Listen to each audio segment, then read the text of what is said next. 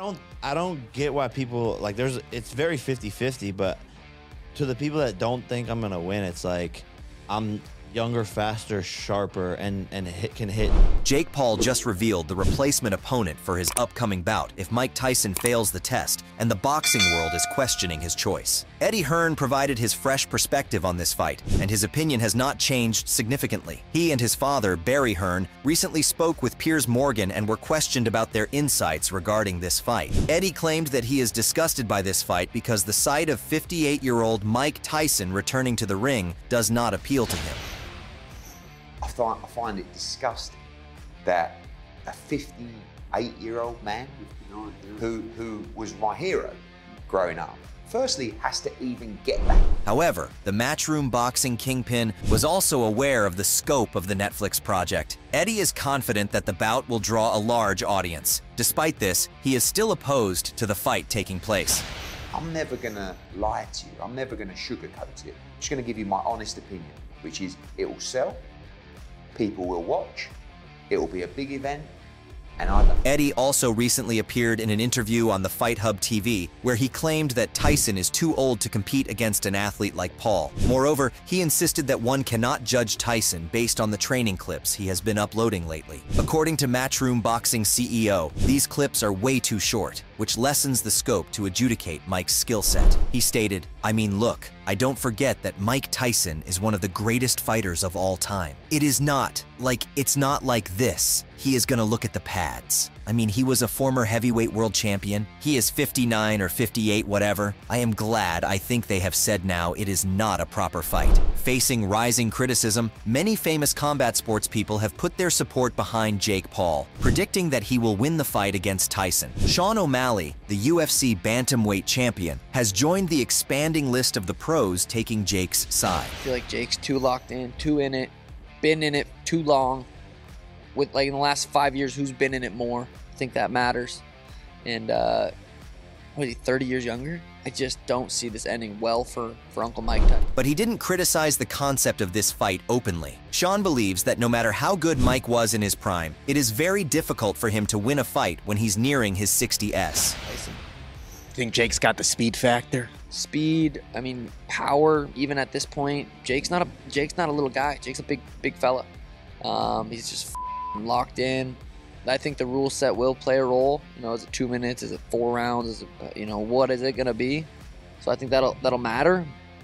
I don't even know if that'll matter. I think Jake's gonna probably dominate. But UFC fighter Michael Venom Page is not a big fan of this fight. He thinks that looking at a knocked out Mike Tyson at this age would be dreadful. MVP stated, For me, that fight there is slightly different, because yes, it's a gimmick. I guess it is. Definitely. It's money. It's money driven. But I just would never like to see just the potential of it. A Mike Tyson laying on the floor with Jake Paul standing above him. It just would be an ugly picture, you know? He's an older man now. He looks in great shape and I'm sure he could still cause damage. But just the potential of that happening, I just wouldn't want to see just for somebody with that kind of legacy, especially that inspired myself and so many other combat athletes around the world. I just wouldn't want to see that picture. So I think those kinds of fights, it's just kind of not necessary. These kinds of fights, I'm not the biggest fan of. However, Roy Jones Jr. feels that the 16 ounce gloves during the Tyson Paul fight are to protect Jake Paul rather than Mike Tyson. Well, you're not gonna see Mike get hurt against Jake Paul, but they put on 16 ounce gloves and headgear. They didn't put that on to protect Mike. They put that on to protect Jake. You don't worry about Mike getting hurt at all. I was in the ring with Mike, we weren't worried about Mike getting hurt. We were about me getting hurt. I'm a small guy, plus this weight class.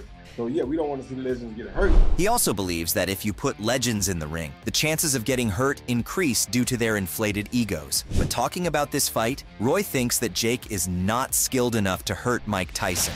So um, you know, you you do have to worry about that in a sense. If you put two legends in the ring together, two older legends, sometimes the egos come up and they do they will try to hurt one another. But in this Jake Paul situation, I don't think Jake Paul is good enough to hurt Mike. Uh, he may be powerful enough if they had on eight ounce gloves or ten ounce gloves, but also if they had on ten ounce gloves, Mike might hurt him. I think my chance would be to bet that Mike would hurt him. When asked if he is concerned for Mike's health due to his old age, Roy stuck with his statement and said that the 16 ounce gloves are meant to protect Jake rather than Mike. You know, considering that he's 58 years old, obviously we know that Mother Nature catches up on all of us. Um, and as you said there, he is going with a novice Jake Paul, who's not a boxer. but you just think Okay. like kind of youth, that youthfulness that Jake Paul has. Do, you- do you not have any worries whatsoever about Mike's health going into this fight? No worries whatsoever. Like I said, the head get him 16 ounce gloves. That's not to protect Mike Tyson. That's to protect Jake Paul. Understand that. Please believe that. Anthony Joshua has finally talked about this fight and gave his insights regarding the Tyson Paul showdown. During his appearance on the Jonathan Ross show, AJ talked about Tyson's age before sharing his prediction. AJ stated, Tyson is older now. I pray that he comes out healthy. I think Jake Paul wins because of youth. That's the only thing. When asked about what he thinks about influencer boxing, AJ believes that influencers bring many people into boxing, benefiting everyone involved, as the increased viewership helps the sport overall. I personally think it's really good. I think the boxing hardcores, they don't like it because they think, why are they disrespecting our sport? But I think that influencer brings all these people into boxing, which benefits everyone else. Everyone viewing helps. Irish boxing star Barry McGuigan feels Mike is fighting simply for the sake of money. He also doesn't understand why people are allowing a 57 year old Mike Tyson near a ring. Barry stated, You can be sure money's got something to do with it, McGuigan told The Sun. The governing body should be seriously badly reprimanded for that, getting a 57 year old guy into box. That's just really stupid and irresponsible. He shouldn't be near a boxing ring at 57 years old. It's just very irresponsible. It's very dangerous. British boxer Dave Allen also thinks that this fight is dangerous for Mike Tyson's well being. Dave stated, As far as the Mike Tyson versus Jake Paul fight goes, I think it's dangerous. Mike Tyson is one of the greatest heavyweights that ever lived, but at 58 years of age, he shouldn't be getting hit. Jake Paul is a young man, he's in shape, and he's ended up being a half decent professional boxing prospect. So for me, it's dangerous, and it shouldn't be happening. Sergio Mora also shamed Jake Paul for taking up a battle with an aging Mike Tyson. Mora also emphasized Tyson's training videos and pointed out that showing videos is very different from getting in the ring. Mike Tyson, 58. What, what, what, is that good for boxing? Uh, Fight, you know, fighting a, a Jake Paul who's obviously in mid, I think, late 20s. Look, man, I, I've always been uh, a, a, a critic of, of Jake Paul and you know having him fight real fighters and boxers. Um, but fighting a fighter that hasn't fought in over 20 years, and Mike Tyson, he got beat, you know, 20 years ago, and He lost the last two fights, got knocked out. yeah, he got knocked, knocked out the last two fights. So at 57, 58 58, years old, come on, man, you're, you're, you're fighting a senior citizen, you know, and it's not fair. I mean, he can look for he can look like a beast, Mike Tyson, for like the, the, the 10 second clips that he posts on social media. Anyone could do. I could look like a killer right now on the pads for 10 seconds, but as soon as you turn that camera off, I'm gonna be huffing and puffing and sore. Mike Tyson's not. It's not gonna be a good look for his legacy. However, Jake Paul's business partner applauds people who are criticizing the fight. He believes that the more people talking about this fight benefits it indirectly. Nakisa stated, Jake Paul versus Mike Tyson gives combat sports its largest single distribution platform in history. Debate the fight all you want, which is exactly what we want, but equally accept that this is a great opportunity to bring boxing to the masses. The owner of Lace Up Promotions, Amer Abdallah, a name very close to Iron Mike, further confirmed that the fight is mainly promoted by Jake Paul's promotion company, Most Valuable Promotion, and is looking to exceed expectations. Abdallah stated, We are talking about 700 million people. That's what they're estimating will have access to it. Almost 300 million households will be able to view this for free on the largest streaming platform in the world, Netflix. It's a massive, massive event. WBC President Mauricio Sulaiman is also supportive of the upcoming clash between Jake Paul and Mike Tyson and thinks that the event can be good for boxing. He stated, He Jake is a young, strong, upcoming fighter with great social media followers, and if it is an exhibition, then we have to support it. It is good for boxing. So let's support it and make it a great event for kids to look up to Mike Tyson and Jake Paul. Frank Stallone, Sylvester's brother, made a bold prediction for this fight. Last time, when he was asked about this fight, Frank was fully confident in Mike for destroying Jake. Getting good feedback from his first comments for the fight, Frank posted a video on Instagram and talked about this controversial showdown. He believes if the fight is real, then Jake Paul will go to sleep. great feedback from a week ago when I talked about the Mike Tyson Jake Paul fight. Again, let me reiterate it's either a sanctioned fight or it's not a sanctioned fight. If you're wearing 16 ounce gloves and they're two minute rounds, that's not a fight. Or if you're wearing headgear, it's not a fight, it's a sparring session, it's a joke. If it's a sanctioned fight, 10 ounce gloves, and all the things that go with no headgear, three minute rounds, whole different story. Jake Paul is basically a rank amateur. He fought one fighter, Tommy Fury, and he got beat by a guy that's an in and out boxer, not a great boxer. Here's the deal. He's an amateur. So here's, here's an amateur. Come in with the right hand and they go straight back. Mike is here. Mike is low to the ground. Throw a right hand, Mike's here. Bang to the body, comes up top. Mike has an incredible uppercut.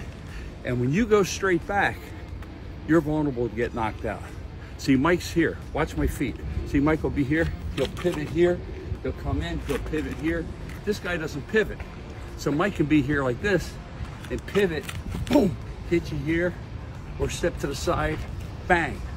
And that is going to be the difference between a pro and also Mike maybe 56 or 57, but he's been in the biggest fights in history he knows how to gear himself. No, he does not have the energy of a 25 year old, but he's not going to expend it. He's just going to walk him down, come in, pick his shots, boom.